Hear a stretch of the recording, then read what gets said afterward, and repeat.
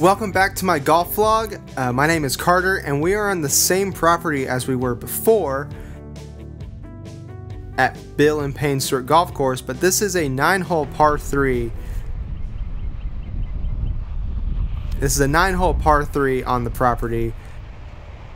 This first hole is uphill, but I think it said like 120 yards, so uh, gap wedge.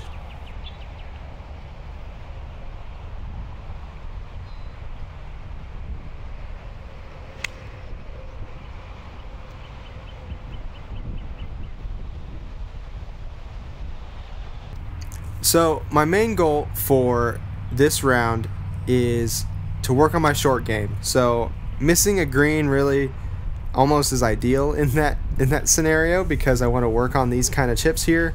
You can see how wet the ground is. That wasn't my greatest, but we've got this putt for par. And I just missed it right. I honestly think the wind, I, I should have counted for the wind a little bit because it was gusting pretty bad. So that was a bogey. Here's hole two, 145 yard par three.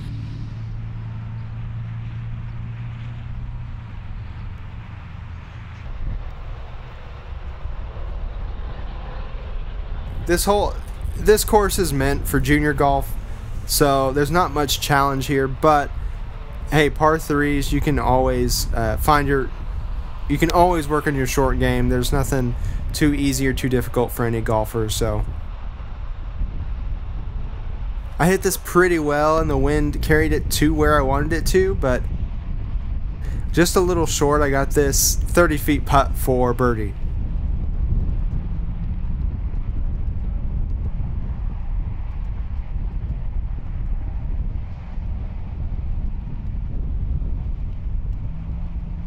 And the wind is howling here, so I kind of take a step back here to, to make sure my line is right.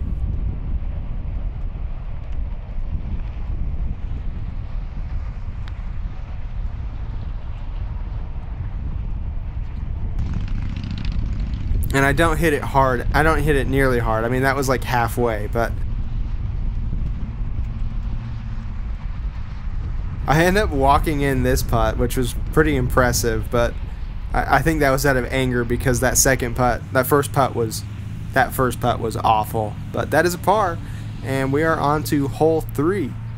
Hole three shares a green with hole seven, I believe. It's a pretty short hole. It's only like 110 yards or so. I think it was playing closer to 103.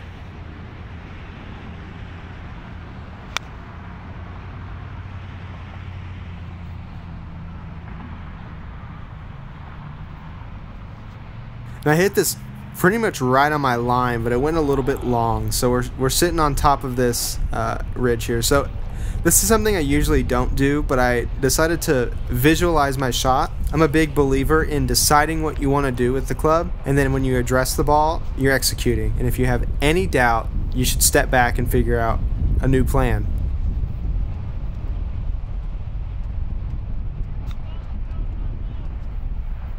Putter was wasn't the right play. I can chip this on. And I hit a pretty good chip considering the, the lie, I think. And I hit a pretty good chip, I think. So this is for par.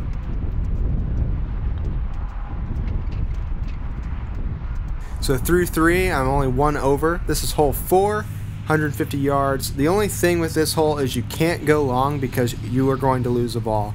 Uh, that fence is right there on the green.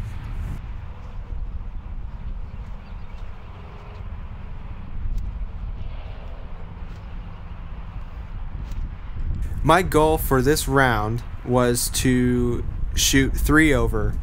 My personal best on this course is one over after nine holes, but I really wanted to try holding myself. You know, I haven't played as much in this year, so I wanted to really try and get three over. I pulled this shot and, you know, kind of stung my hands a little bit, but we're still looking at an okay shot to the flag.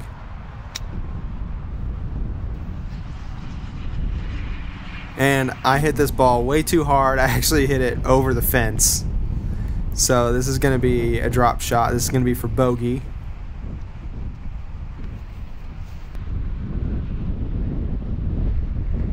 and it just missed. I hit that one pretty well, but this is for double bogey.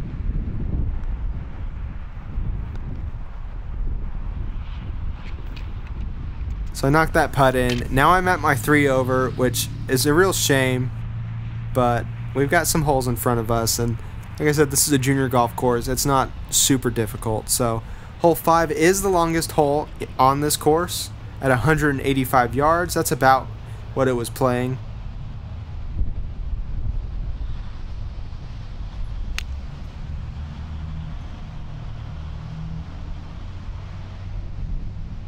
And I actually hit this one really well. It was going straight at the flag, but it went a little long.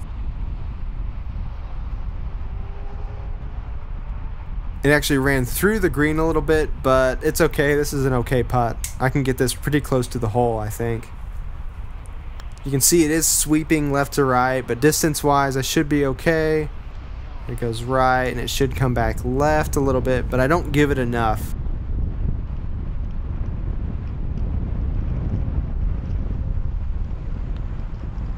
This is for par. And I pulled it. That I was lined up okay, but that that wasn't a great stroke. This is for bogey. And now we're sitting at 4 over. I, I decided to stick with my goal 3 over. I really wanted to get 3 over, so I'm going to continue being aggressive. Uh, this hole has that pin in the back with that bunker on the left, which going for the pin is not really a great idea for me because my miss is left into that bunker. I end up pulling it right and it goes past the green. Getting a little frustrated, which it's funny when I watch back this footage, I don't think I really was that frustrated. But when I see how physically frustrated I am, it really does make you think like maybe I mentally I think I'm okay, but I'm not.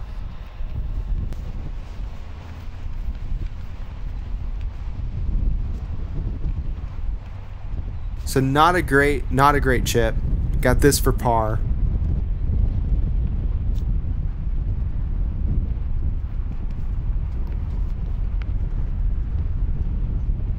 when when I see myself kind of swing my club or even like toss my putter like that, I really think, man, I am more frustrated than I thought I was. Just skirts the right edge, and I'll put that in for double. Here's that hole 7 that connects with hole 3.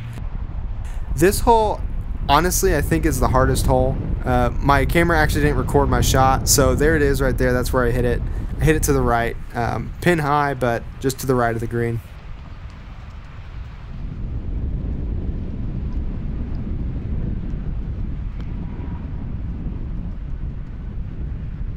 Big sweeping putt, and that was actually a really good read, so I've got that for par. Once again, I didn't end up getting that uh, recording, but I knocked that in for par. Hole 8 is probably my favorite hole. It, it's kind of it kind of bowls out here on the left, so if you end up anywhere on the left, it should feed down into the green, downhill.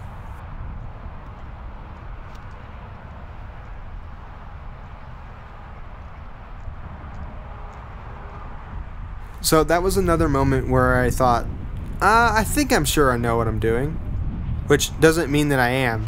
And I took a second and I breathed and I said, okay, this is the shot that I want to try. And so I pretty much ended up going for the pin hitting it left, but like I said, it's a bowl. So when you hit that left, that left slope, it came straight back on the green. So I've got this for birdie.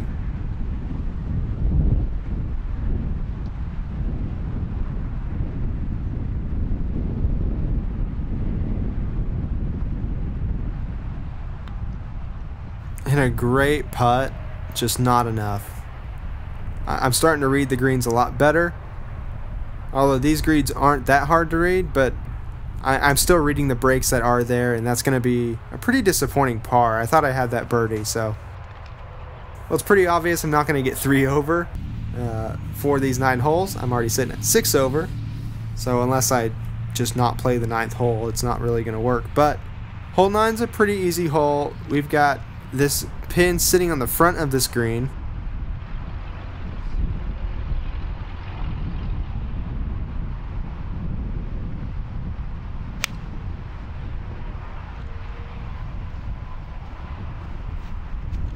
And that was that was my first that was a big slice. I the wind was gusting. Once again, I tried to put more on it and that's not great.